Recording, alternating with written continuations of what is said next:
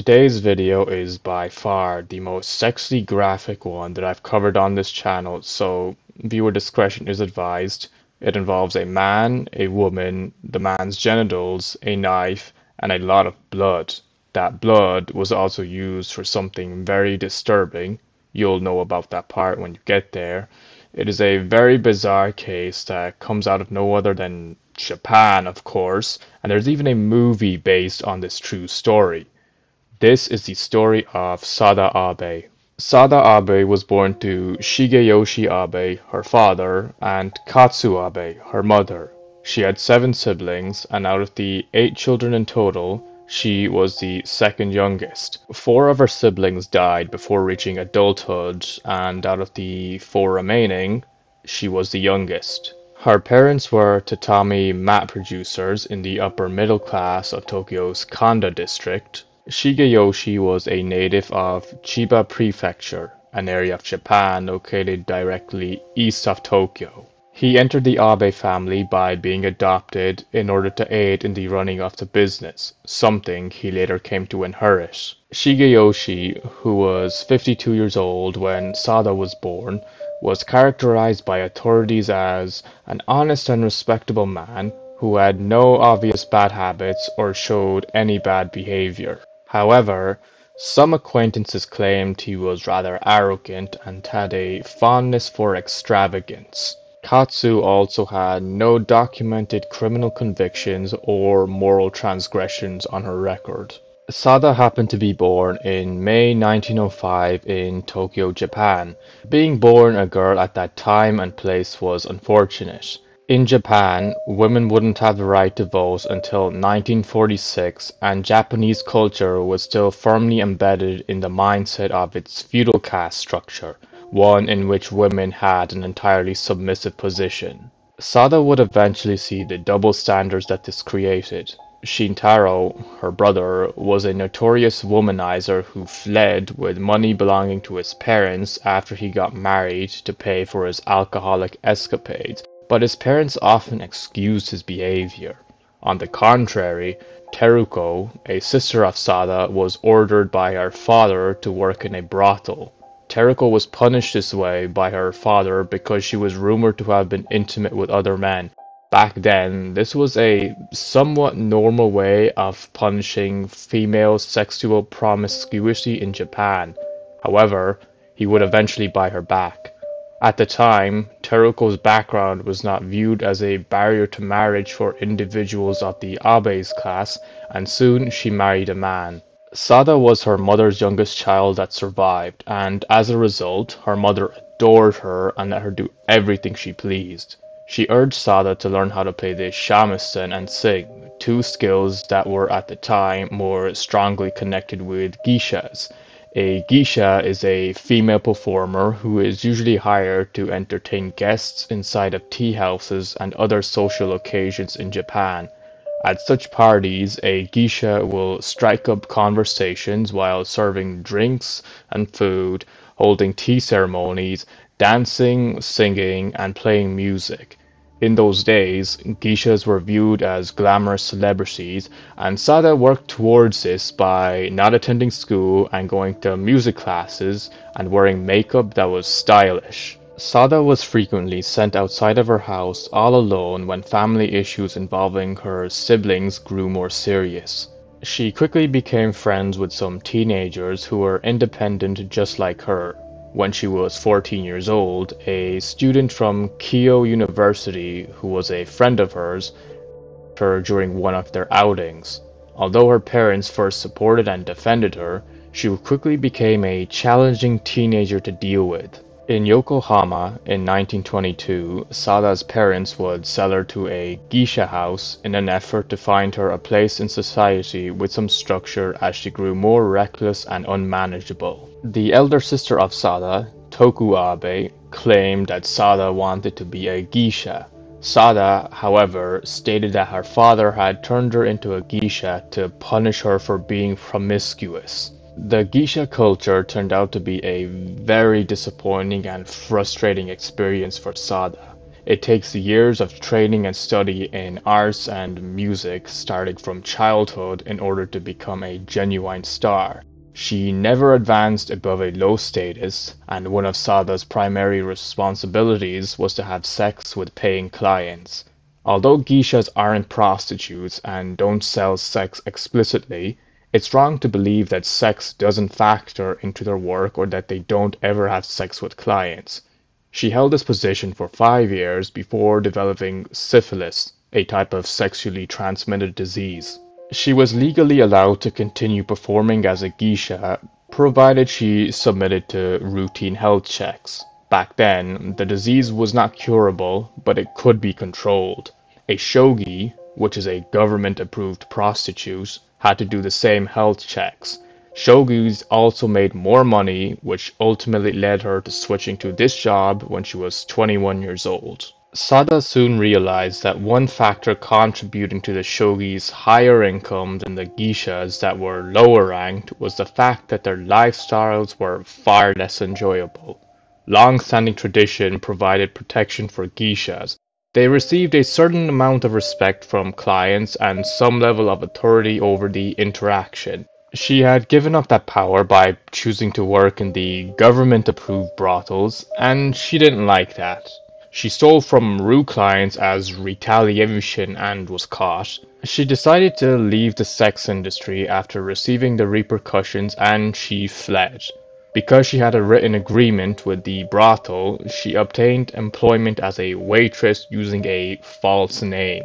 Nevertheless, they found her, and she was obligated to return to finish the rest of her contract. She was no longer legally required to work at the brothel after that contract expired in 1932, but she chose to carry on as an unregistered illegal sex worker known as a shisho instead. She hadn't liked working as a waitress, but at least she could choose her own customers now. Sada returned to Tokyo to attend her mother's funeral, as she died in 1932. She also reunited with her father, and they later patched up the relationship. She made the decision to remain there and work as a freelancer in the vibrant sex scene. In January 1934, her father became ill. Sada cared for him during his final days, despite him treating her so poorly for all these years. Later in 1934, when the authorities raided an illegal brothel in Tokyo, Sada happened to be working there. She and the other women employed there were detained, but a local fixer paid off the police to free them as this was a typical custom. The man who paid was named Kasahara Kinosuke, and when he first saw Sada at the station, he had feelings for her. She accepted his suggestion of quitting the brothel, then becoming his mistress, but he quickly discovered that she was much more than he was able to handle. Unless they repeated it twice, three times, or even four a night, she wasn't pleased. Kasahara really enjoyed it at first, but after a few weeks he started to feel a little worn out. But Sada's ambition to settle down with Kasahara and ultimately experience some permanence in her life was his primary problem with her. He declined to abandon his spouse for her, despite her best efforts to convince him to. She then offered that they be open because he already had a wife, but Kasahara stated clearly that he would quit paying her if she met any other guys. Sada made the difficult decision to stop the relationship because its dynamic nature was not going to work for her. She made the decision to depart from Tokyo and travel to Nagoya because of the possibility that Kasahara could make her life problematic due to his contacts in Tokyo. Sada once more made the decision to give up prostitution after being disillusioned with how the financial aspect had ruined her relationship with Kasahara. Instead, she went back to an old occupation of hers, a restaurant maid. This is how she discovered Goro Omaya. He was a principal for a high school with political aspirations, and Sada discovered herself drawn to him more romantically than sexually, or at least for the first time. Later, she even went so far as to call their sexual relationship unsatisfactory, which presumably came as a shock to Goro. Due to his intentions of campaigning for public office and the fact that she would have been fired by the restaurant for engaging in sexual activity with a patron, they chose to keep the relationship a secret. The term "Japanese-style restaurant" was frequently used as a cover for brothels, so the real restaurants had to fight to keep their reputation good. Sada was given the idea to start her own restaurant by Goro as a means of regaining some authority over her own life. Enjoying the video so far? Then make sure to leave a like and subscribe as it helps my channel grow tremendously. Now, let's get back to the video. On February 1, 1936, Sada returned to Tokyo and became an apprentice at a restaurant called Yoshidaya. Kichizo Ishida, the 42-year-old owner of the place, had climbed his way up the corporate ladder as he was an apprentice in the beginning at an eel restaurant. In 1920, in Tokyo's Nakano district, he had established the Yoshidaya. Kichizo was a notorious womanizer who contributed nothing to the management of his restaurant, which was primarily overseen by his wife at the time Sada joined it. Kichizo started making sexual moves towards Sada once she started working at Yoshidaya. Sada was never sexually satisfied with Goro, so she moved towards Kichizo, one time in the middle of April, Sada and Kichizo had a geisha that worked at the restaurant sing a romantic song while the couple started having sex there. Sada and Kichizo met on April 23, 1936 inside a tea house or machiai, the modern version of a love hotel, in the Shibuya district for a prearranged encounter that was sexual in nature. The couple, who had only intended on having a brief fling, stayed in a bed for a full four days. They relocated to a different tea house in the far-off area of Futako Tamagawa that night on April 27, 1936. They proceeded to drink and engage in sexual activity here, often with a geisha singing in the background. They still carried on doing this even as maids came in to serve sake, a type of alcoholic beverage in Japan. A neighborhood called Ogu was the next stop for their protracted love-making session. Kichizo did not return to the restaurant until the day of May 8, 1936 during the morning. After they parted ways, Sada got upset and started excessively drinking. She said that she had experienced love for the very first time with Kichizo and the fact that he had reunited with his wife had made her envious. She then started having some very sinister thoughts about how she was going to get revenge on Kichizo, and those sinister thoughts would soon become a reality more than a week later. Sada went to a play where a geisha used a big knife to assault her lover on May 9, 1936. When Sada watched it, she made the decision to confront Kichizo with a knife during their subsequent encounter. She decided to pawn off some of her clothes two days after she saw the play and spent the funds she received on a kitchen knife and sushi. Sada and Kichizo went back to Ogu. This time, as they were making love, Sada grabbed a knife, put it next to Kichizo's penis, and threatened him by saying she'd make sure he never played around with another lady. Kichizo took this as a joke and chuckled. The deliberate deprivation of oxygen to one's brain for sexual pleasure is known as erotic asphyxiation. Kichizo encouraged Sada to continue choking him after two nights of intercourse, as this made him enjoy it even more. She also had him perform it on her. On May 16, 1936, Kichizo was having an orgasm when Sada wrapped her obi around him to stop his breathing. An obi is a type of belt that is used in Japanese attire that is usually knotted instead of being fastened with a buckle. Both of them were absolutely enjoying it. For the next two hours, they repeated this. Once Sada stopped strangling Kichizo, his face deformed and didn't go back to normal. To alleviate his pain, Kichizo took 30 Calmotin tablets, which is a type of sedative. Kichizo allegedly told Sada to choke him again with the obi when he falls asleep and to not stop because it hurt a lot afterwards. Sada said she questioned whether or not he wanted her to murder him, but after some thought she realized he had to be kidding. On the night of May 18, 1936, at about 2 am, Sada looped her obi twice around Kichizo's neck when he was sleeping, strangling him to death. She spent a few hours with Kichizo's body before severing his testicles and penis with a kitchen knife, wrapping them inside a magazine cover, and would carry them around with her. On Kichizo's left thigh and on a bedsheet, she had written, We, Sada and Kichizo Ishida are alone, using the blood from the severed genitals. Then she engraved the Japanese character for her name, Sada, into his left arm. She put on Kichizo's underwear and left the hotel just after 8 am, asking the staff to not wake Kichizo.